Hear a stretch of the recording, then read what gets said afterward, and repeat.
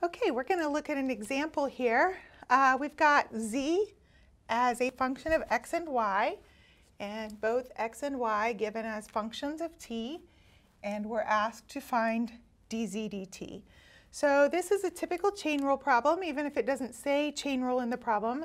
The idea that you have one function defined in terms of some variables, and then those variables defined in terms of some other variables, and basically you want the derivative of the initial variable to one of these terminal variables. So we've talked about tree diagrams for these, so I'm going to go ahead and draw a tree diagram for this one. We've got z as a function of x and y, and both x and y as functions of t. And what I want here is dz dt.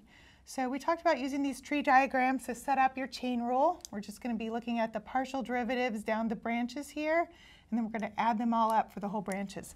So this is not really a proof, it's just an organizational structure to help you kind of get your chain rule written down correctly.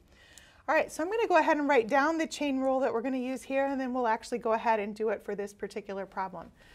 All right, so here, uh, z is a function of two variables.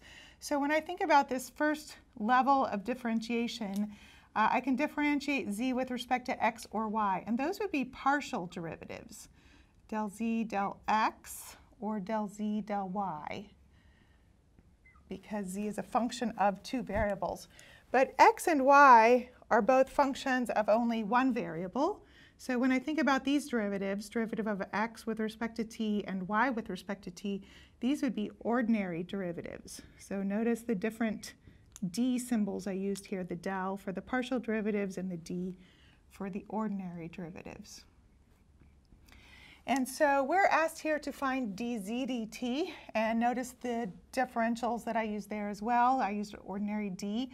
When I think about z in terms of this terminal variable, there's only one variable here at the end, so that would be an ordinary derivative. So I'm going to write down the chain rule here, but the other thing I want you to notice when I write this down is the d's that I'm using here for the notation. So derivative of z with respect to t, only one terminal variable, so that's an ordinary derivative. And then that's going to be equal to del z del x times dx dt, multiplying down these branches.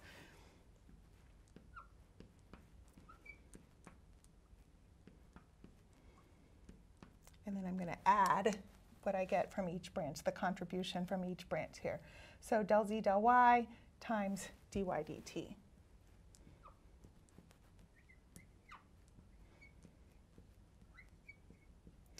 Okay, so I want to actually find this derivative here, and then maybe we'll plug in a number and calculate that derivative at a particular value and just make sure that we can interpret what that means. So there's really two ways to do this problem. I'm going to go ahead and do it first using chain rule, and then I'll just talk about another way that you could do this problem. Um, but I want you to be able to write down the chain rule independently of whatever way you choose to go through doing the problem. So you should be able to write down the appropriate chain rule for whatever kind of combination of variables you have in the problem. Okay, so let's go ahead here and just kind of let the symbols tell us what to do. I'm going to find dz dt. So the first thing I need to find here is del z del x. So that's the derivative of my z function with respect to x. So in looking at that, when I differentiate this function with respect to x, I'm going to have to use product rule. So the derivative of x with respect to x is just 1 times this function plus this first function, and then times the derivative of this function with respect to x. So there's a little calc 1 chain rule involved there.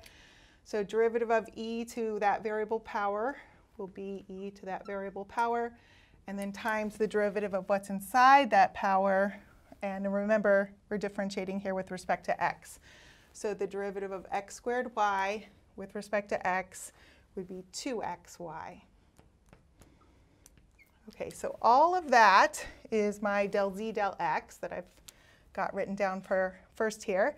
And then I need to take this times dx dt. So I'm just going to let these symbols tell me what to do dx dt is the derivative of the x function with respect to t. So the derivative of the cosine function is negative sine plus del z del y I'm going to differentiate this function with respect to y. Notice that I'm not going to need product rule on that one. y only occurs in this function here, so I'm not going to need product rule here. I'll go ahead and go down here for my next part of my um, chain rule here. So the derivative of z with respect to y, this x out front will just come along. And then derivative of e to that variable power will be e to that variable power. And then times the derivative of what's inside there. And again, remember I'm differentiating with respect to y. So just have x squared. Right, so all of that is my del z del y. And then times dy dt. So dy dt, I'm going to use my y function and differentiate with respect to t. I'll get cosine of t. Okay, so at this point I have kind of a messy answer, but I actually have an answer for dz dt. Generally, you would probably like to have that perhaps a little bit cleaned up, but also you would probably like to have that all in terms of this terminal variable here, t. So notice I have x's, y's, and t's in this expression. Uh, depending on what I was going to do with it next, I might be plugging numbers in if I'm interested in a derivative at a particular value. But if I just want an expression, like here, I would probably like that to all be in terms of whatever this terminal variable is, t. So I'm going to go ahead and substitute in, and as I do that, I'm going to do a little bit of algebraic simplifying here. Um, this simplifying would be optional.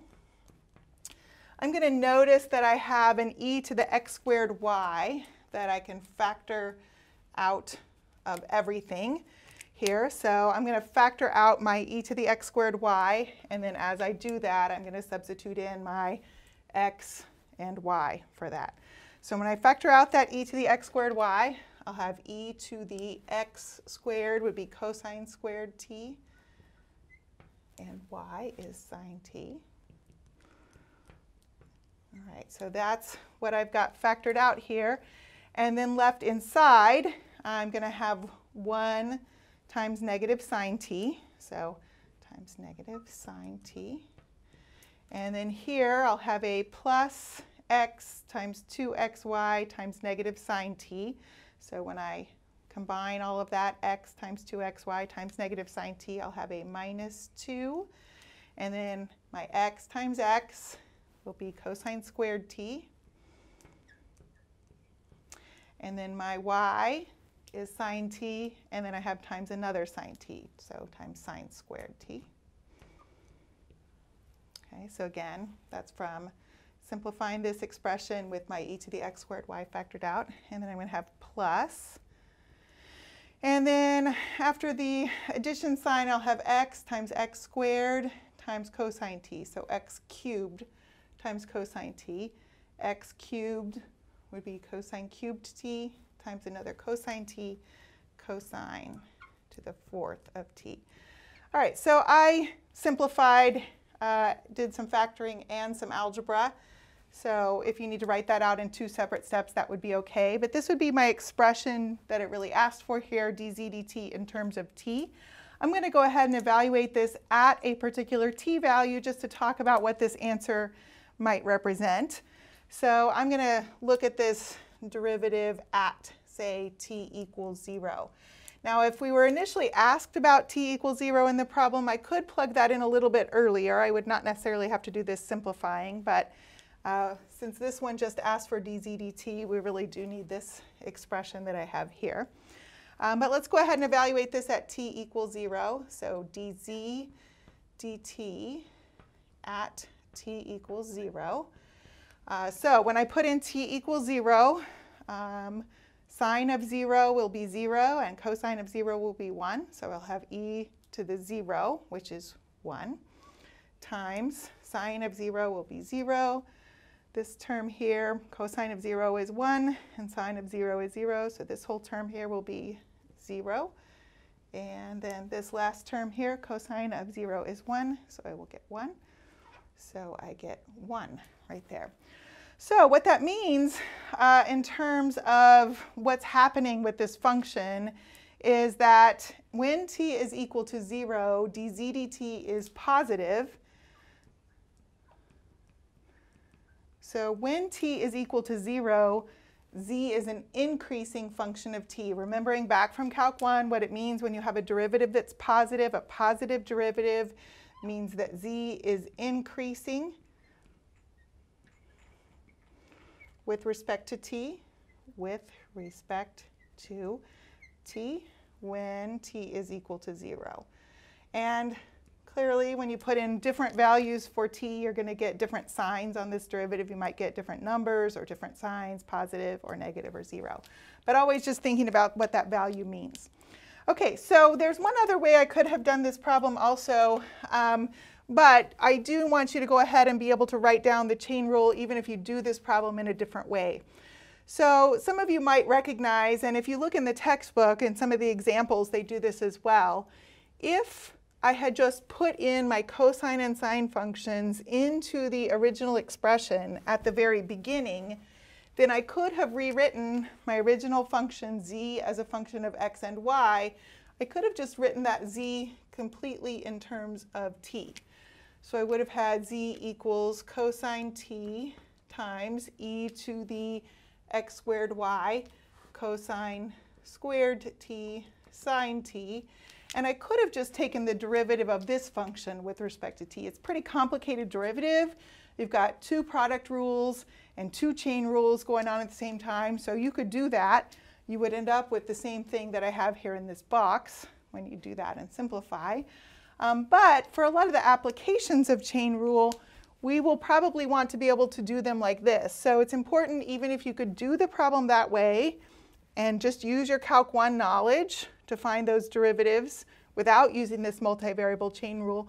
For a lot of the applications of chain rule, you're really maybe not going to be actually finding derivatives, but you're really going to be using this formula to relate one derivative to other derivatives. So we're going to look at some application problems in some later videos that'll help you kind of wrap your head around why you might choose to do that. Okay, so practice some like this. We'll look at another video with some more variables and just kind of a different configuration on our chain rule diagram here. But really, this is just kind of once you get the structure here, just kind of letting the symbols tell you what to do and then kind of dealing with the messy algebra that sometimes turns up in these problems.